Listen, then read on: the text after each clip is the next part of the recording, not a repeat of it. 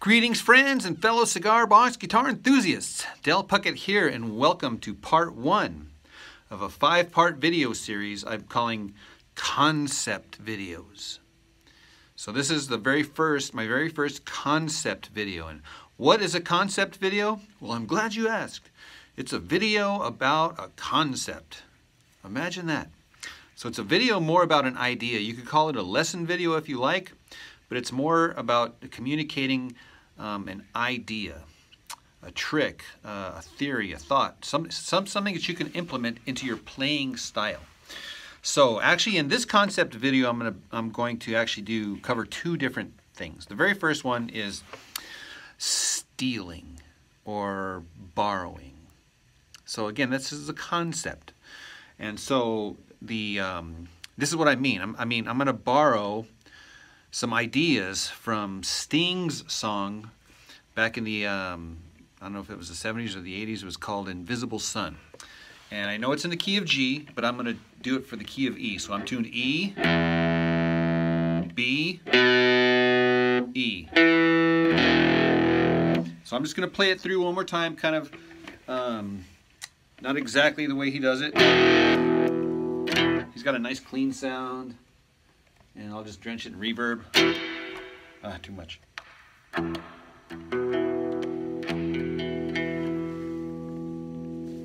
Now the sound might might might not be right, but it goes like.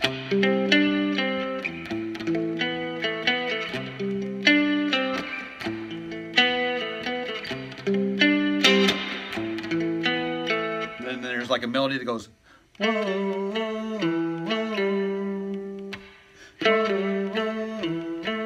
kind of goes over that part.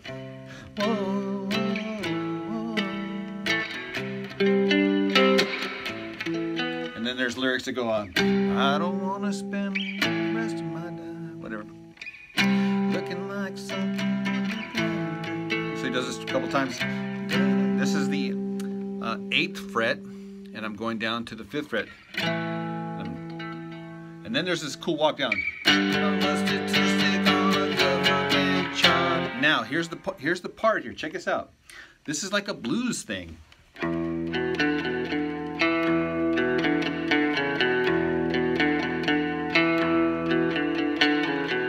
So it's like a little little bass line.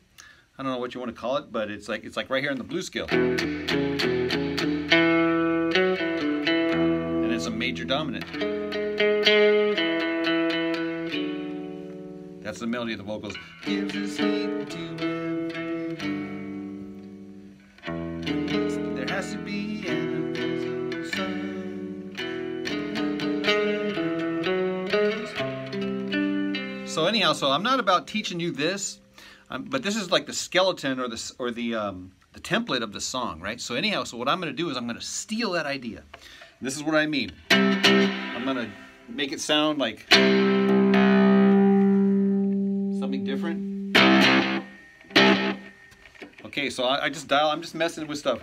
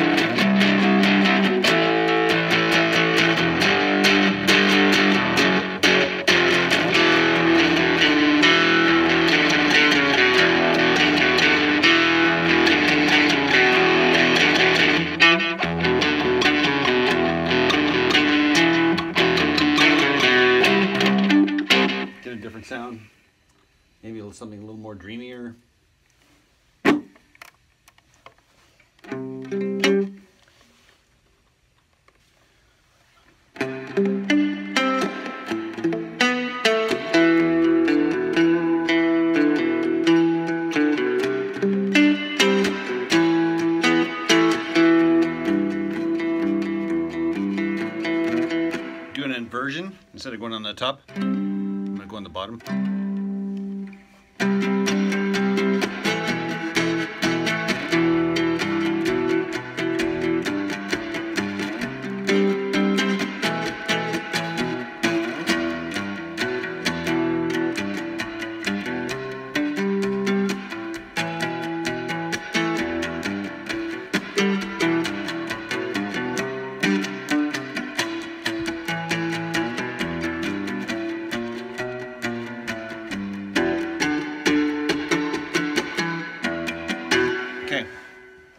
Wheel with pride. Just don't get caught. So anyhow, the other thing I wanted to teach you is the second concept is more of a driving rhythm. Okay, so on this case here, I'm going to get some distortion. So close your ears, dial it back a little bit. No reverb. Um, this is just dry distortion. Okay, so um, this is going to be focusing on one string, the top string. Top string? So this is more of like an alternative picking with accents. And um, I'm gonna I'm gonna subdivide this into three groups of places where I'm gonna play the lick. First of all, let me let me play you the first part of the lick.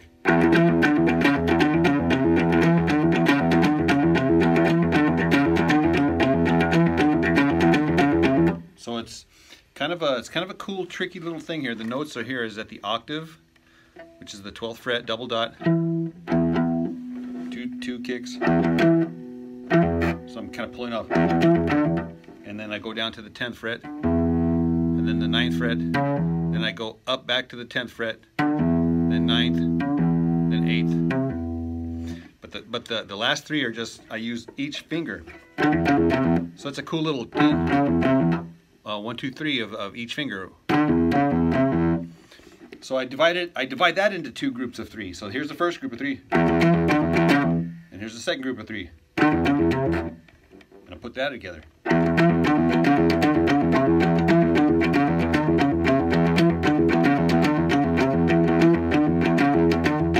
It's more about getting into this loop uh, and then being relentless in your picking, picking pattern here.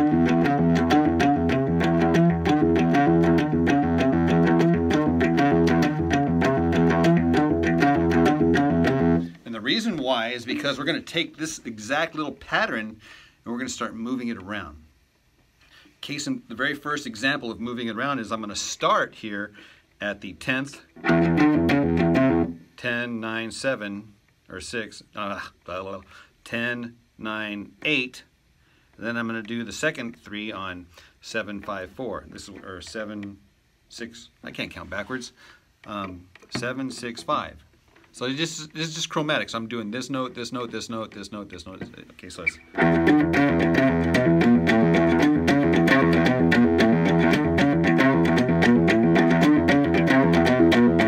So I'm just. It's,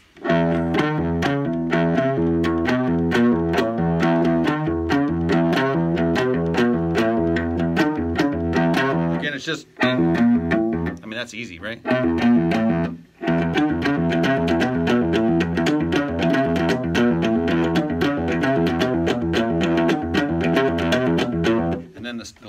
One is down here at the seven, six, five, and then you're gonna go three, five, open.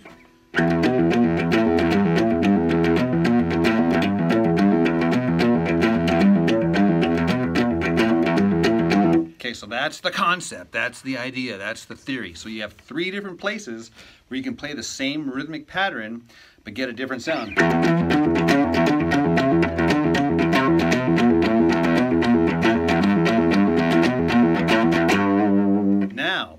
Can start stopping and starting, starting in different places, putting mash, totally mashing these things up, and then doing like stops and starts and kicks and stuff like that. So for example, oh, oh yeah, and then like resolving it if you want to. I mean, because this is kind of an unresolved thing. It's just in one string.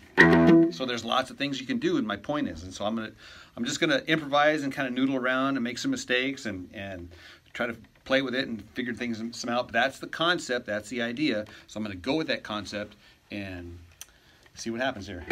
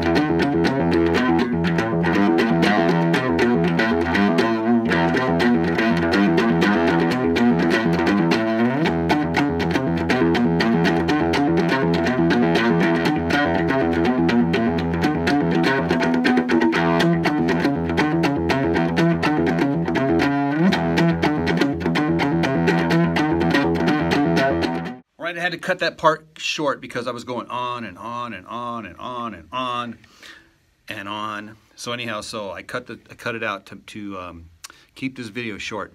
But I did want to say that whatever you do on the top string, remember you can do on the high string. So here's an example of that.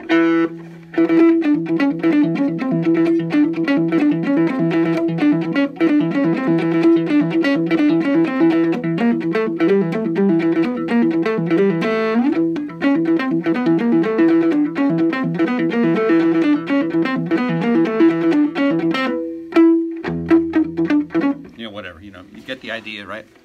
All right, so that's it for this very first in a five-part series of concept videos. All right, Del Puckett signing out. See you in the next concept video.